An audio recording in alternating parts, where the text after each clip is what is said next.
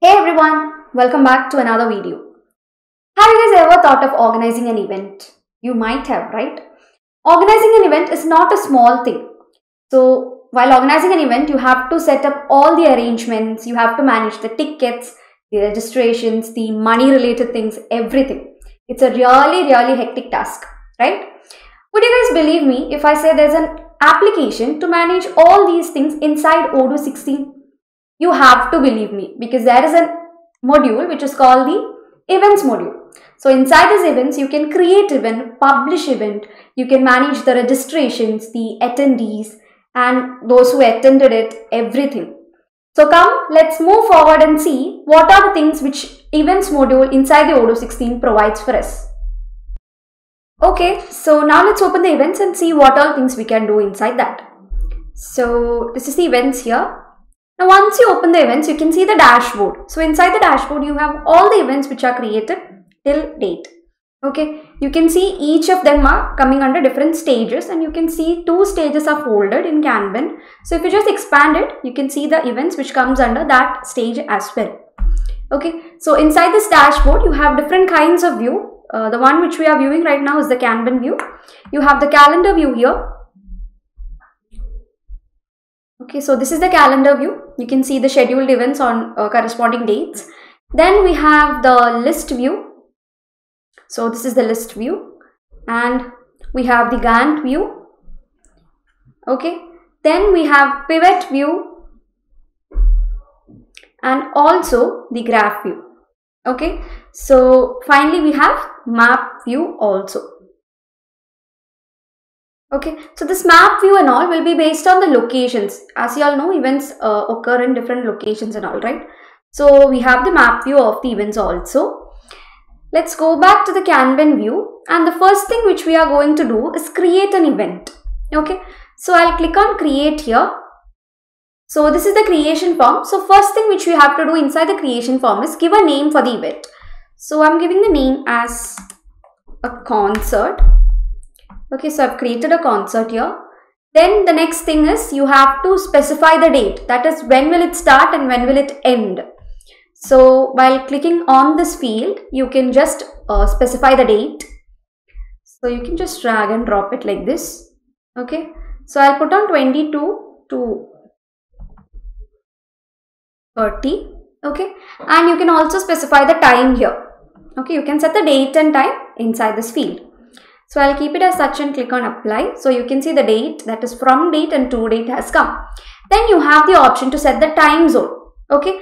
So you can choose any time zone that is based on your need. You can choose the time uh, time zone from here.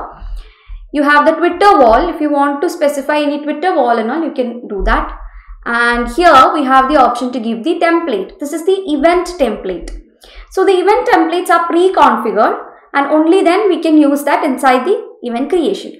So we'll keep it here and see. I'll save it for now and let's see how to configure the event template.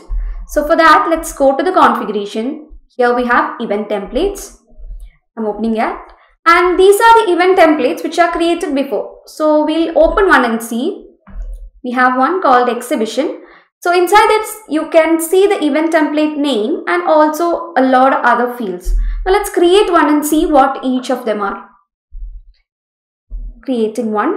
So I'm giving it as concert temp. Okay. Then we have a lot of check boxes here.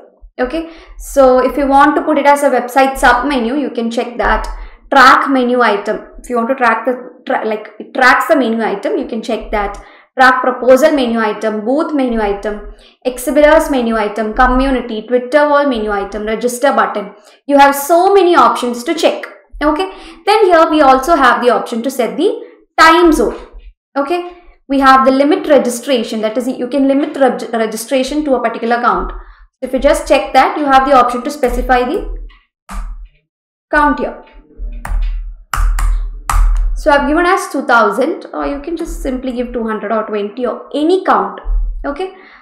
Then you have the auto confirmation. If you want to confirm it automatically, you can just enable it also. Then you can add the tickets here. Okay. So the event uh, registration ticket and you can set the price of the ticket also. Okay. Uh, you can add any number of tickets okay then you have the communication that is uh, how is the communication done through mail okay the interval the unit and when will this mail trigger like you have one after each registration before the event before the event so this is uh, this has come by default. If you want to do any changes you can do that. So simply if you want to add one you can just click on add a line and add a new uh, communication method. You have questions here. Okay you can add questions here. Okay uh, you can add questions corresponding to the events. So if you just click on add a line you can add the question here. You can also add the answer. Okay so i'm discarding it. You have the booths here. So you can add booth. Okay then we have notes. So if you want to add any kind of notes regarding the event you can do that from here. So this is how you create an event template. Now let's use this template inside the event which we created just now. So i'm saving it. Let's go back to events. So concert is the one which we created right now. Okay. Now let's add the template which we created right now which is the concert temp. Okay, I've added it. And also we have the option to add tags. So I'm adding music. Okay. Um, the age limit and all is given as tags. So you can do that also. So I'm keeping it there. Then on the other side, we have the organization of the event. So you, you can see the organizers my company, that is the company who's organizing the event, and the responsible person. Also, you have the company here, that is the corresponding company, the website in which this will be available. If you don't give any website means it will be available everywhere. You have the menu, and if you want to uh, upload a map and all, that is the exhibition map and all, you can upload your file here. And you have the limit registration, auto confirmation and all. This has come from the template, okay, the template which I have chosen here. Then we have the tickets so ticket also we created inside the template. The communication, okay, a question and note and all we didn't add so that questions are not here. And if you want, you can add it here also. So this is how you create an event. Okay. So here we have a lot of smart tabs and all. So if we create, I mean, if you if we perform more operations in this uh, events, this will be uh, there will be a change in each of these smart tabs. Okay. So we'll save it now here on more, you can see go to website. So it's currently in unpublished state. So if you want, you can change it. I'll go, click on go to website. Okay, so here you can see the event. So I'm going to publish it. So this is published right now. And if you want to register for the event, you can just click on register here. Okay, and then you can what register for the event. So you can see the date and time, uh, if you want to add this to your calendar you can do that okay the location the organization i mean organize organizer sorry and you can do that and all. And also while registering you can register for how many people you want. So currently i've chosen only one quantity. You can choose how many you want from here. So click on register. So this is the ticket. Okay you can add the uh, attendee name. So i'll give the name as Jenny and you can see the email. You can add the email address and also the phone number corresponding to that person. Okay. So you can see these two are mandatory fields and this is an optional field. So i'm continuing it. Okay. Now what happened is that we have uh, registered for the event. Okay. So you can see the billing address and all. You can confirm it and proceed. You can do the payment. Okay choose one. And clicking on pay now. Okay.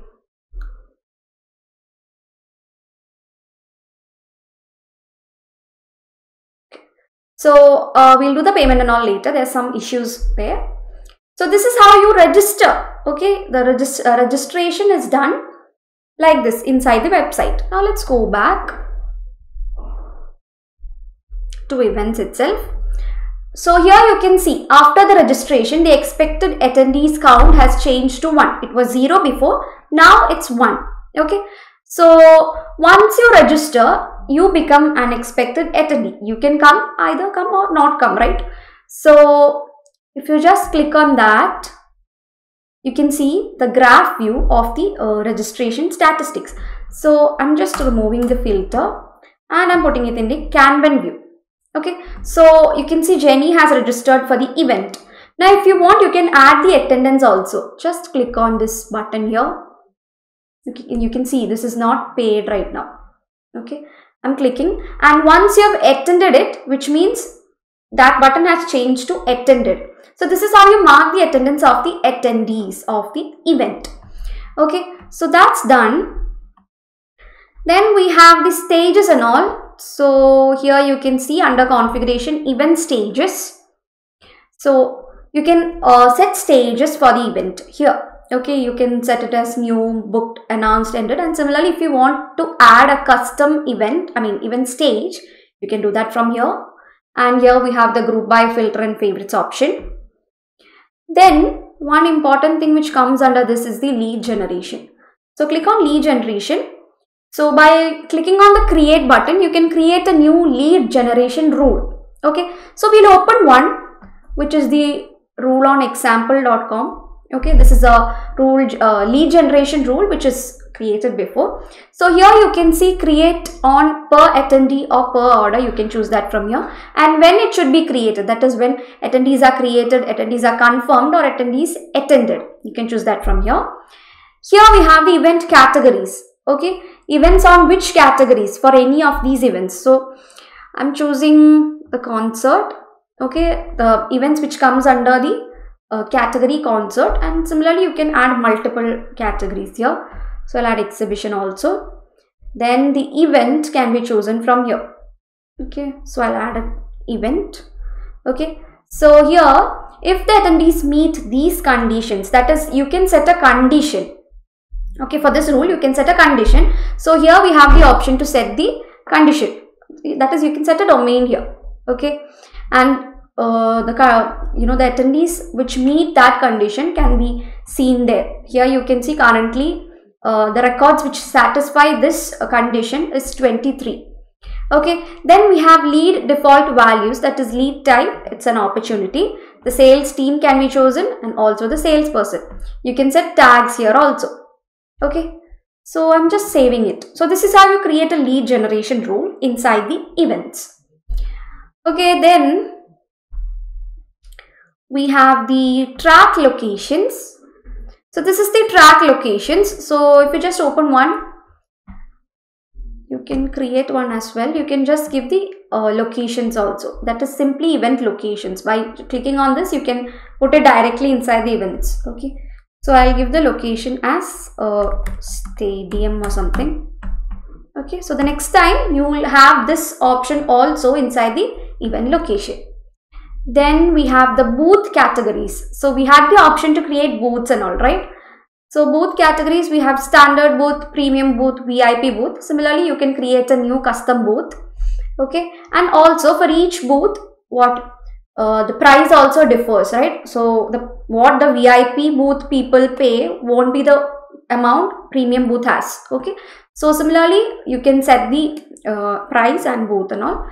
Then we have the event tags categories that is to create tags okay so here you can see the name is activity you have the tags as culture music sports and all you have the type as online conference the age group as so and so similarly if you want to add any new category add the category here and also the values which comes under that category can be added as tags okay then we have um, the reporting section so we'll go through the reporting section. We have the option attendees and revenues. So you can uh, get the reporting based on the attendees and also the revenues. So I'll click on attendees. So here you can see the analysis of the attendees. You can see the different events here. Okay, you can see the concert, conference for uh, architects. These are all events. Okay.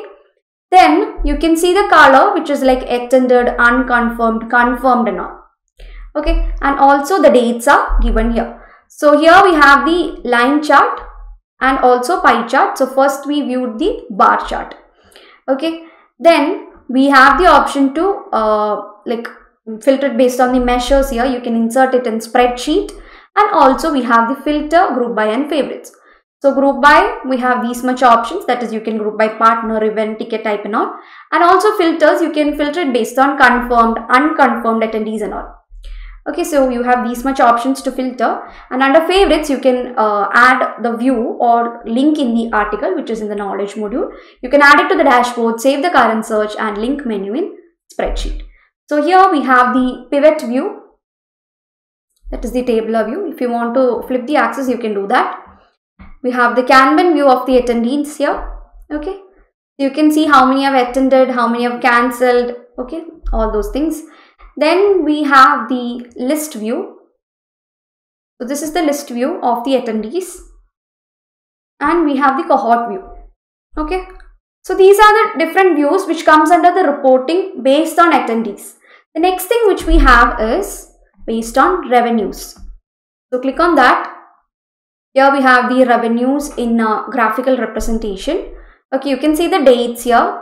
That is the registration date.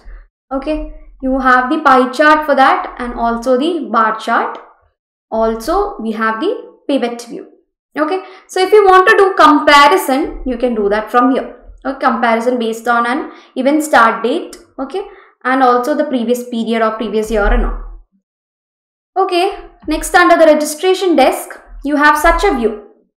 So here you can select the attendee. Okay so click on that. Select the attendee I'll select this person.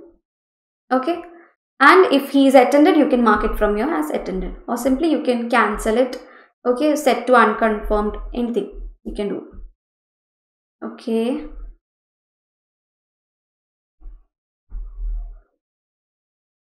okay next we have under the configuration we have the settings which is the final thing which comes under the events so here we have a lot of options. First one is the events section where we have schedule and tracks that is manage and publish a schedule with tracks. So you can enable that to manage and publish the schedules and all. And we have the community, sorry, community chat rooms. Okay. So this is to, you know, uh, communicate between the attendees and all okay by creating virtual conf uh, conference rooms. You have the online exhibitors that is to display sponsors and exhibitors on your event page okay? So if i'm uh, like if i am conducting an event there, there might be some sponsors and all okay? So you can uh, display those sponsors and all there. Then we have the booth management okay? It is to create booth and manage the reservations which is coming to the booth so for that you have to enable this. Now under schedule and track you have live broadcast and also event gamification. That is if you want to share quiz with your uh, attendees and all you can do that with the help of event gamification and also you have live broadcast that is a, as your track online through a YouTube integration. Okay, then we have registration that is under the registrations uh, section we have tickets, question and online ticketing. So to enable all these things, you have to make sure that all these things are checked and also saved. Then we have the attendance section where you can attend based on a barcode which is provided to you. Okay, you can scan your code and then attend it. Okay, to confirm the attendees, you will give you will be given a badge. Okay, so with that badge, you can enter it. Then we have the tickets and all. Tickets is to sell tickets with sale order. Along with the sale order, you can also buy tickets okay if you have any questions so we've seen the questions inside the event template right? So the questions are not while registering you can uh, enable this and then the, those question section will appear inside the templates and all. So these are the main things which comes under the event module. So that's all. I hope next time you organize an event it won't be a hectic task right? That's all we have for you in this video. Thank you so much for watching